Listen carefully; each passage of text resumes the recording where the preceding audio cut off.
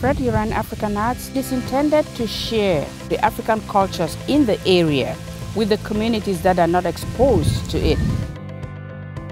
Fred Yiran was an artist who also happened to be my husband.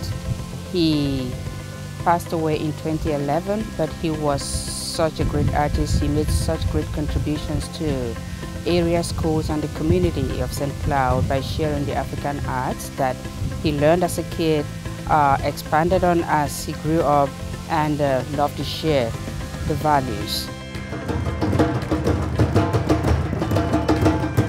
The look or the feel of newness or otherness or something different, the more people get to witness, experience, engage and interact with it, the livelier it becomes.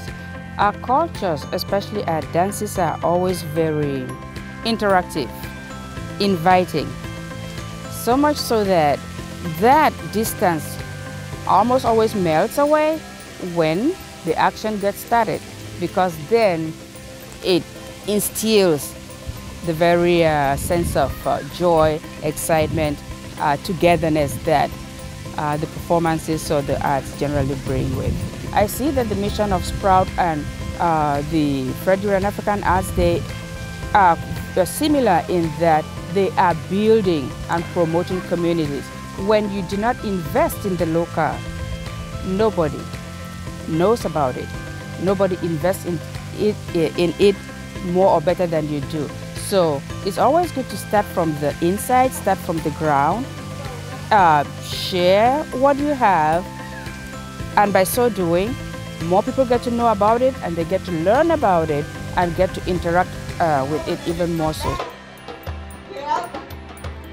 Oftentimes, when we do not get exposed to something new or different, we are limited by what we think, imagine, or hear about them.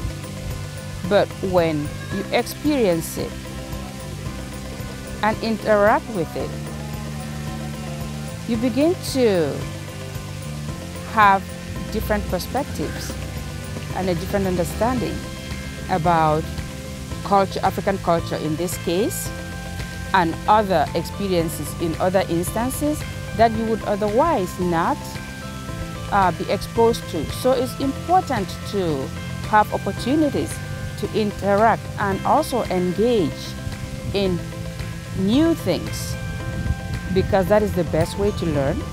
That is the best way to have a stronger community and also the best way to break prejudices that we may have. I've been here for almost two decades now.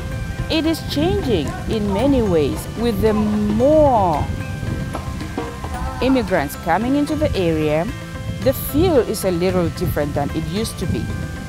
Communities like Little Falls are inviting others to, you know, the African arts in this case, to come and share their culture. The strength that it brings, the, the beauty it brings in us is just something to celebrate in itself.